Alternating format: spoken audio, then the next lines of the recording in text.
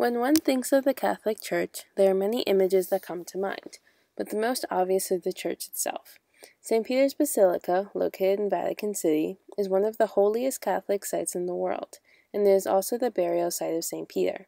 As a major Catholic site, we can look at the Vatican as a place that honors Jesus' teachings, but let's take a look inside of the church to see if that's true. Inside of St. Peter's Basilica, people can view the wealth of historical art in the tombs of popes such as Pope Pius XI and Pope John Paul II.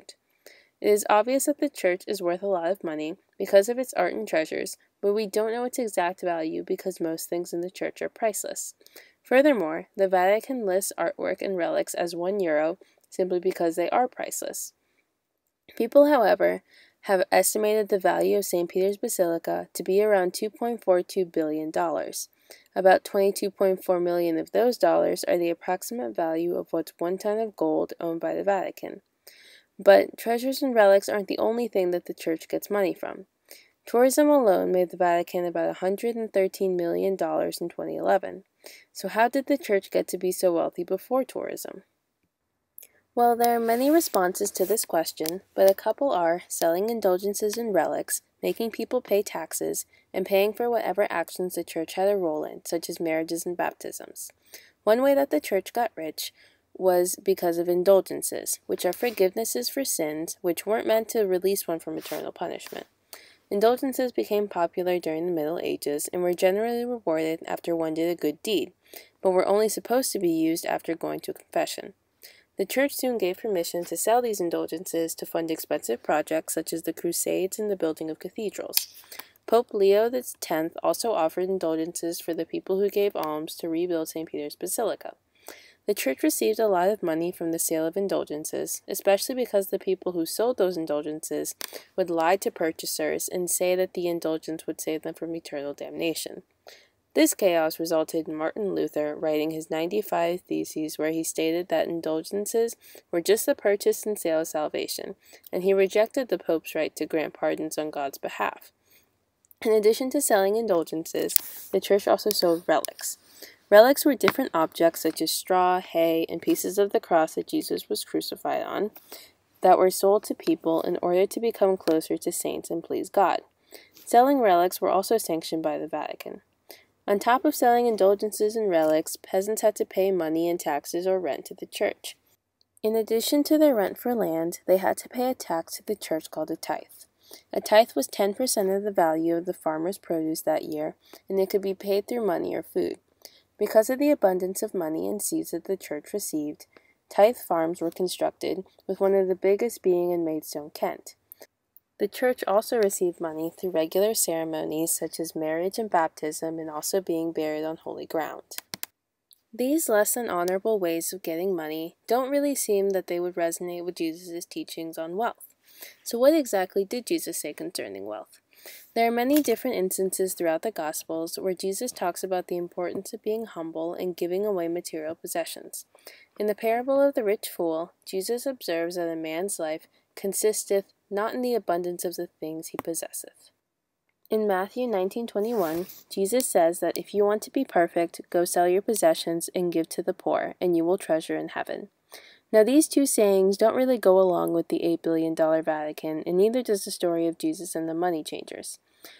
Once he enters the temple, he told the money changers that my house will be called a house of prayer, you are making it a den of robbers. Not only does Jesus condemn the money changers' actions in the temple, but in Matthew 6:19 he says, "Do not store up for yourselves treasures on earth, where moths and vermin destroy, and where thieves break in and steal." Matthew 10 provides another view that Jesus has on wealth. A man ran up to Jesus and asked him, "What must I do to inherit eternal life?" Jesus told him that he should follow the commandments. But the man replied that he had done all those things since he was little. Jesus then said that the only thing he lacked was to sell everything he had and give it to the poor, and only then would he have treasure in heaven. The man was obviously not very happy about this outcome, and he left very sad. And then Jesus told his disciples how hard it is for the rich to enter the kingdom of God. It is obvious that selling indulgences and relics aren't an honorable way of raising money for a church whose important figure is said to not store up treasures on earth. But that isn't the only thing that the church has done that doesn't really resonate with Jesus' teachings. The Fourth Crusades brought in a lot of gold, money, and jewels because of the pillaging of villages, but the most interesting current issue with the Church is the Institute for Religious Works, or IOR.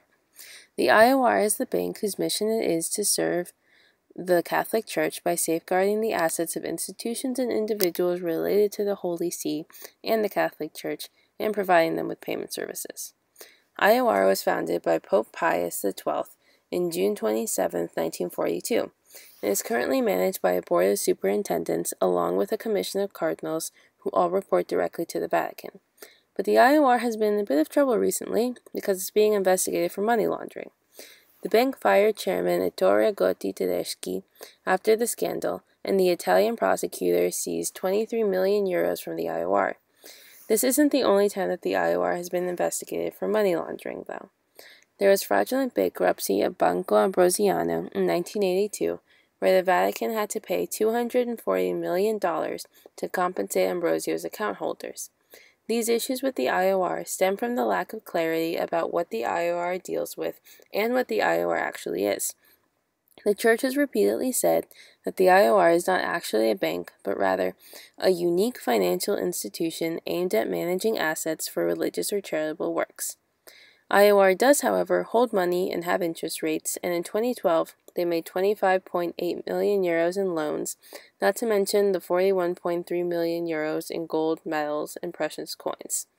IOR currently has 18,900 customers who are all a part of the Catholic Church, and their net profit in 2012 was 86.6 million euros.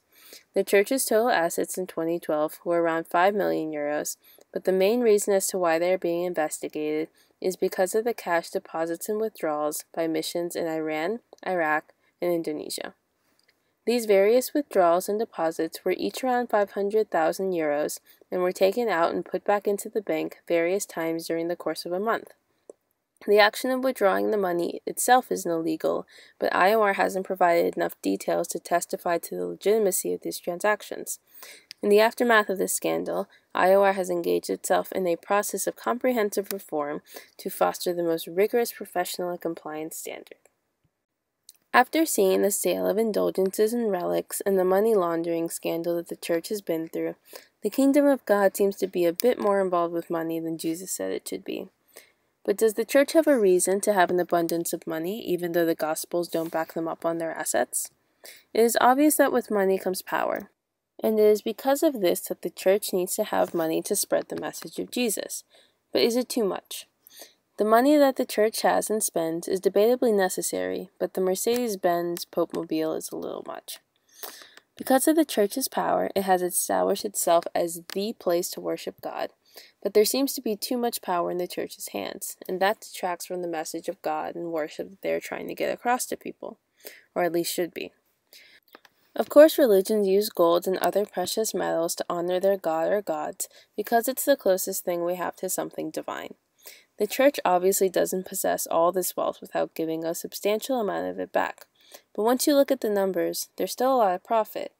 An $8 billion institution with 86.6 million euros net profit, all for a priceless God and his humble son. Doesn't really match up, does it?